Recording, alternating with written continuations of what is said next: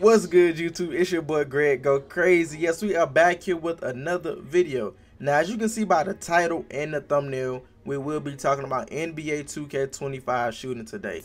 People were asking Mike Wang different questions about shooting in NBA 2K25. One of the questions they asked him was how will hot zones affect shooting this year?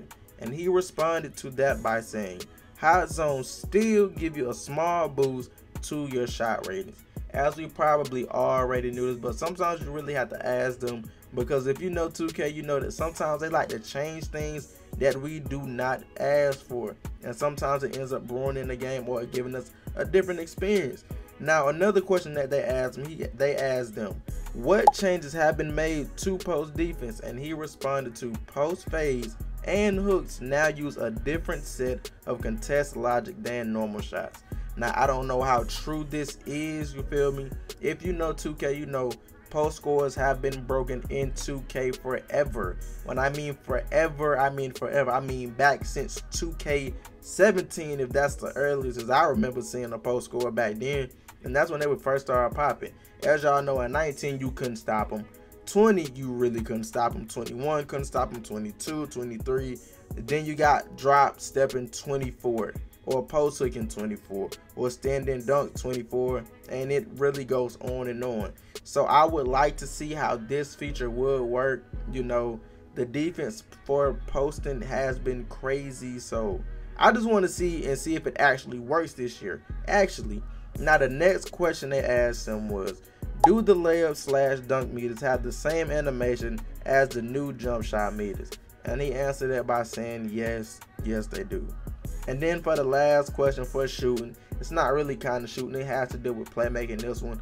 But they asked him, can you go a little deeper on the bounce pass alley-oops? What does contextuality mean? And he said that some players were getting bounce alley-oop passes by accident. So in NBA 2K25, it'll happen regularly just by double tapping Y or triangle if the lane is clearly open and the players are in their appropriate animation or animation or just area of the floor really.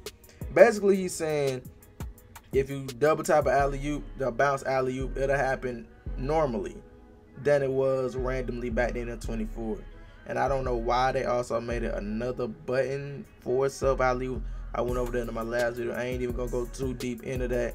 But yeah, y'all let me know how do y'all feel about the shooting in NBA 2K25 just from the news that we are getting let me know in the comment section. And also let me know how y'all feel about the real player percentage coming back in the game plus the high risk low reward debate if that is going on if people really are thinking about that. Some people might some people might not. But if you like videos like this please don't forget to subscribe to the channel for more nba 2k25 news and updates and gameplay and tutorials your boy greg go crazy do it all but yeah, man, that's really it for this video. Like I said, don't forget to like, comment, subscribe if you are new to my channel.